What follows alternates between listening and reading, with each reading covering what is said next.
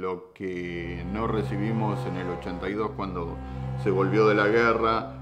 Ese afecto se genera en los chicos que vienen. Lo hacemos por honor a ellos y por honor a, la pelea y a la lucha que hicieron por la soberanía.